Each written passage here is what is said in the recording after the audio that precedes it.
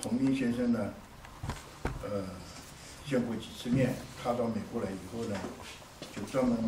到我办公室来跟我谈他的这个计划，邀请我呢加入他们这个这个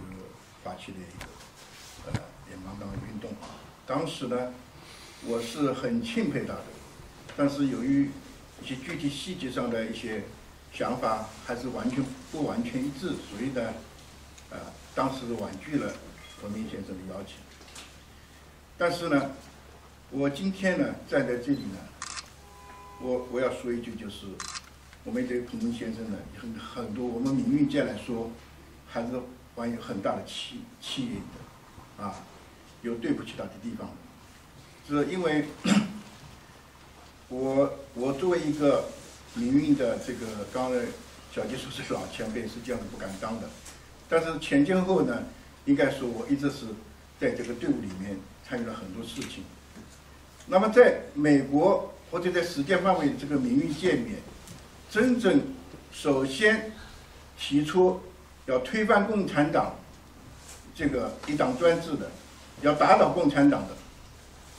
我我不回避说就就主要是三个人在前面的，一个是王斌章先生，一个是彭明先生，还有一个就是鄙人，啊，这个是呃很多呃历史的这个 可以证明这一点。但是呢，我很，我很惭愧的就是另外两位坚决主张打倒共产党的人，都已经在共产党监狱。那彭明先生呢，啊牺牲了。啊，这是我所以认为，他是我们命运的啊第一的历史啊真正意义上的历史。所以呢，我呢现在在这里呢，又要对彭明先生的这个逝世呢表示非常非常深深刻的哀悼。但是令我更加觉得心里难受的，并不是还不光光是这件事情，因为生死每个人都会有有这样的经过，对吧？但是彭明先生是在监狱里面死去的，这是人生最大的悲剧。现在直到现在为止，我们还不知道他到底是被于死呢，还是他自然的死亡。我是很很大程度上怀疑这是共产党对他的虐杀。因为最近一段时间，我们知道文宏达先生也不明不白的死掉了。那么以前的张文宝先生呢，啊，还有一些李志炫先生呢。都是死得很蹊跷。那么彭明先生这个事实呢，共产党有最基本的义务要交代他的死刑，因为他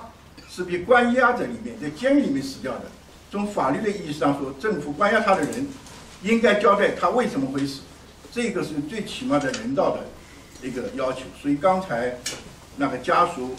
这个声明，我是坚决的支持的。我这里要讲一点。最应该说是题外的话了，因为我这个时候觉得不得不在今天讲，因为我非常非常愤怒的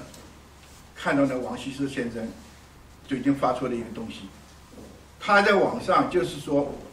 要大家不要来纪念悼念这个啊彭明啊，而且他说好像悼念这个彭明就是犯了什么法。所以这个我觉得很奇怪，这个王羲之先生一直是在我心里，不管他讲多少观点上的一些奇谈怪论，我是多包容的心态，认为这是命运当中一个声音来对待。但是这件事情，我觉得他已经踩过做人的底线了。一个人被共产党关在监狱里死掉了，是我们的一个战友，是为我们命运做出很大贡献的一个人，他可能在生前。有这个事情那个事情，跟我们不完全的一致的看法，或者说，或者你不能认同他，这是没有关系的，这是正常的事情。但是一个人在死了以后，你对他这样大肆的污蔑，说他犯了这个罪那个罪，而且他举出的这些这些事情，都是共产党有的比判决书里面还要严重，啊，说他做了这个坏事那个坏事，这个呢，我在这里要非常严肃的。啊！告诉王先生先生，你这样做是有悖于中国人未人的道德，我们不不允许你这样做。我所以呢，呃，有个提议，就是我们领域界的对这个彭明先生是正面的纪念开国同志，应该联合起来发表一个发表一个东西，发表个声明，对王希的这样一个无耻的行为呢，要进行公开的谴责，不能让他这样，他完完全全是按照共产党政治要求的这样做。共产党把彭明已经塞在监狱里了，但是共产党心里是很心虚的，非常害怕，因为彭明先生这这个意外的事实，激起反对共产党的这个法西斯行为的一个一个浪潮，所以呢，千方百计的要压制对彭明先生的纪念，所以这个王羲之他走在最前面，冲在最前面，成为共产党的一个啊传声筒。这是我们名誉的一个悲剧，所以我这里呢，啊，也顺便借这个机会呢，要对他表示最强烈的抗议。好，谢谢。